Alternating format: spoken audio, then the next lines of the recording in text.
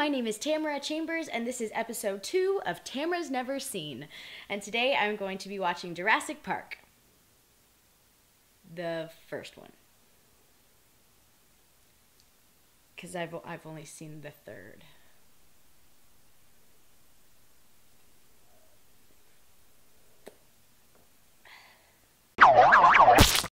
Tamara's never seen.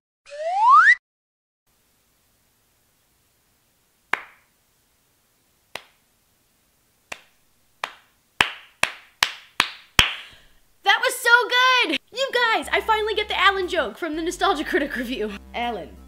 Alan. Alan. So the last movie that I watched for the first time, Return to Oz, was interesting to say the least. This movie was so good. It was released in 1993 and it still holds up incredibly. And there were no wheelers, but there were raptors. So let's get started.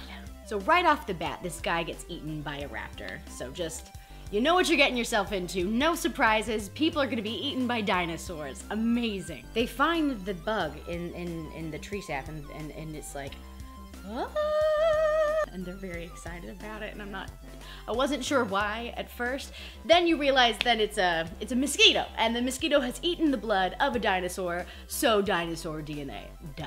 Duh, Tamara. My thing is like a mosquito probably couldn't eat through a dinosaur's skin. Like like mosquitoes can eat through my skin because it's soft. That's okay. That's a small that's a small thing. That's fine. It's okay. I'll let him have it. Then you meet Ellie and Alan, who are an adorable couple who find dinosaurs together, and they're adorable at the end. But in the beginning, they're not very adorable. They're kind of rough around the edges. It takes a second for you to warm up to them as a couple takes Jeff Goldblum hitting on Ellie for you to be like, ah, Ellie and Alan though, they're good. So all the archaeologists are looking at a buried raptor on a computer screen when this very snarky kid comes up. It's probably explained who the kid is. I didn't I didn't catch that. It's just a random kid on like this dig site. And he just goes, that doesn't look very scary. That looks more like a six foot turkey to me.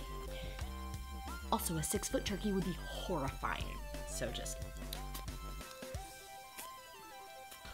that little boy Jake Gyllenhaal?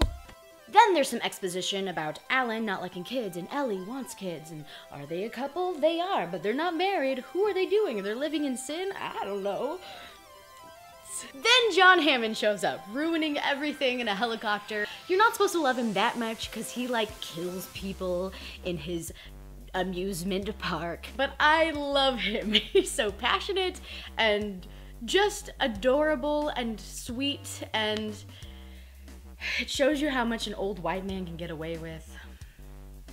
This is a side note, but I could not help but notice. Inside of Ellie and Alan's trailer, on their fridge is like this amazing newspaper article that says, Aliens ate my face off.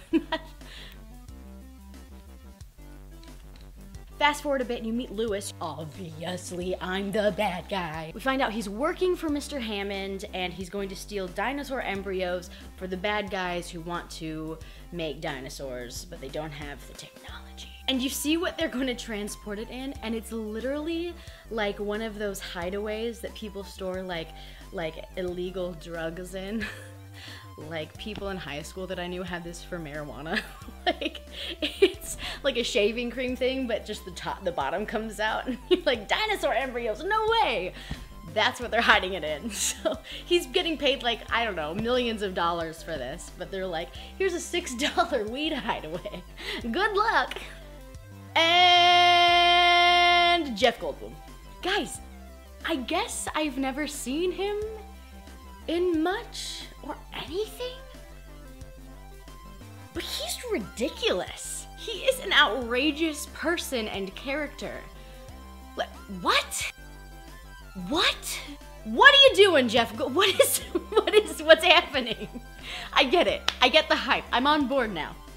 Carry on. I, I get it. Okay, keep going. So they're all on this helicopter about to land on Jurassic Park, and uh, you know, Alan can't get his dang seatbelt to click because he's a you know brilliant uh, scientist and uh, archaeologist, and he's like, But they're completely blindsided when they're finally driving in on Jurassic Park and they see the dinosaurs and they're just like blown away. Which, by the way, I loved that reveal. It was so cool and so exciting and they were so passionate about it. And like, first Alan sees and then she's just like really excited about this leaf and she's like, this can't be real. This was, you know, extinct forever ago. And then he turns her head and, and then you see these magnificent CGI dinosaurs. Look! It's CGI! This is so exciting in 1993. Well, get used to it, folks. They do a close up of Ellie and Alan, and they're like tearing up, and he's like, My god, they do. Oh, hold on. My god, they do live in herds, and they're passionate, and you're passionate. We're like, Nothing can go wrong. We're invincible. Then all the exposition about the raptors and the other dinosaurs are all female, so they can't breed. It's brilliant. We changed their chromosomes. It's really not that difficult if you think about it. Exposition, exposition, it's never gonna happen. So it's obviously gonna happen. Life, uh, finds a way. Life, uh, finds a way. They, can you, no, no, Ike, no, no, no, no, no, no. I don't need you in here. Ike, please don't. Hey, go. Don't ruin this. But I mean, it's off. it's not v- Ike. I will destroy you forever.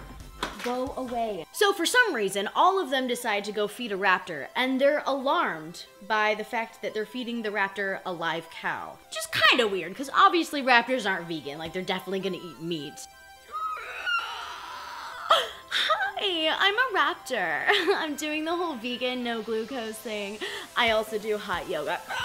Then everyone's like, oh, this is a terrible idea. People are going to die. And the old guy's like, well, here are my grandchildren.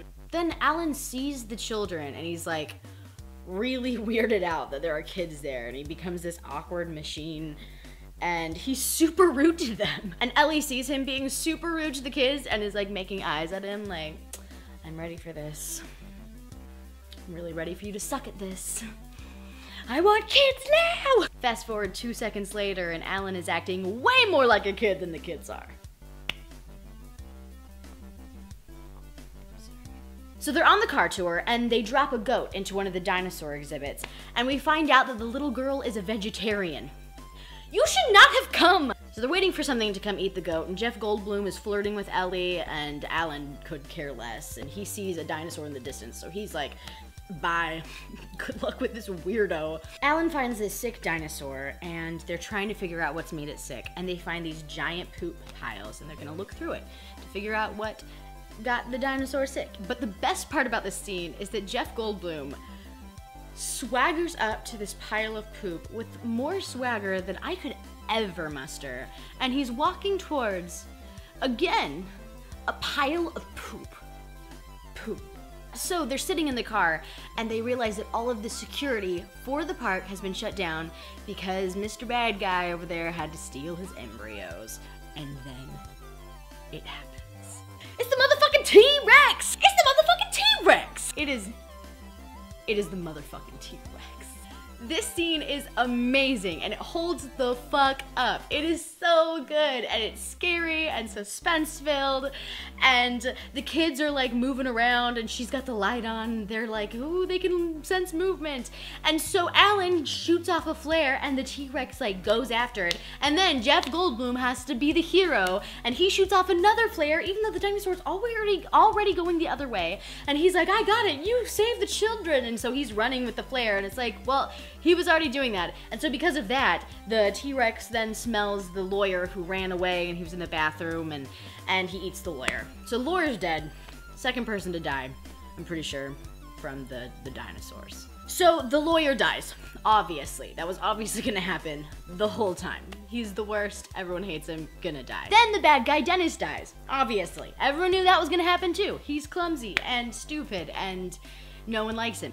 So Alan saves Timothy, which thank goodness alive because Timothy is Tim. He's the best character.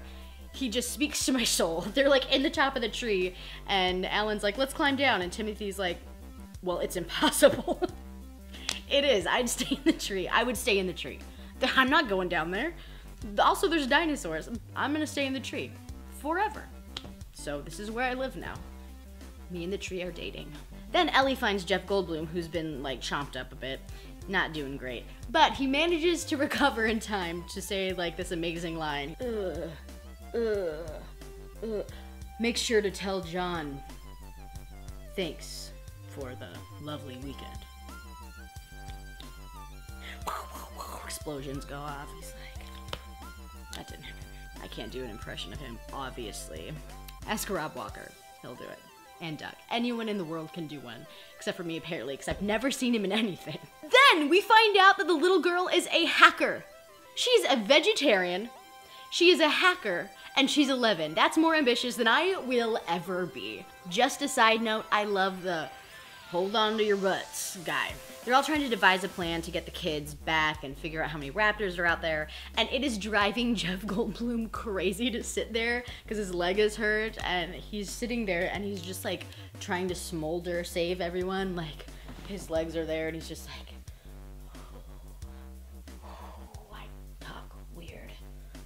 Ellie finally gets the power back on and electrocutes Tim. He flies off of the fucking fence.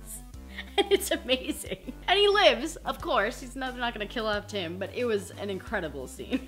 It's like. Alan's like, you better come down from there. I'm gonna count to three. And, and Tim's like, okay, I'm so scared, but I'm gonna count to three.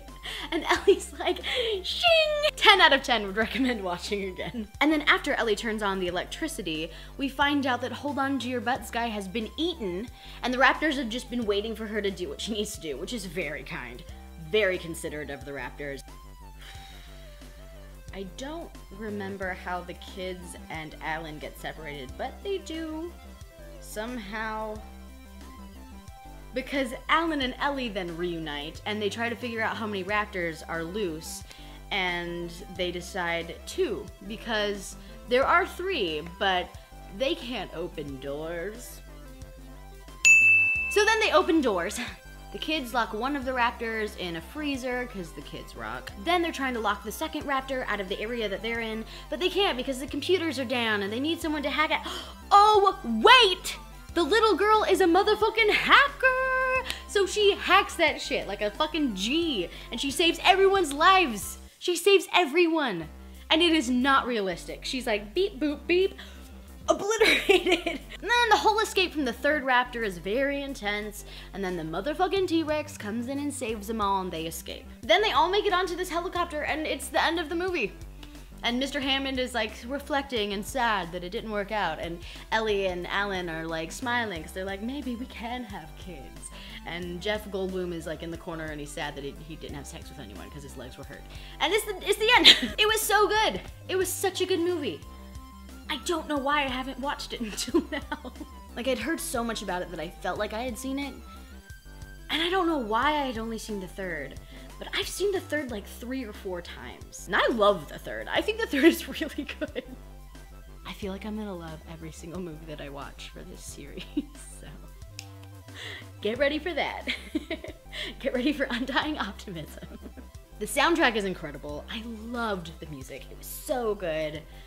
One thing though, I don't know if you guys have noticed this or if you've seen videos with other people pointing it out, but we finished the movie and I was watching with my boyfriend and he pointed out that about an hour and 50 minutes in, you see a raptor's whole body in a doorway and you can clearly see this tech person coming in with their hand and like adjusting the raptor's body. and it's just and it's there for a while like it's like a couple it's a good chunk of time that this person's hand is there. And it's so weird. It's so weird that they didn't notice it or maybe they got the footage back and they were like fuck. Fuck. Can't change it now. But let me know if there's more instances like that. And thank you so much for watching. That's the end. I'm Jeff Goldblum. No, I'm not.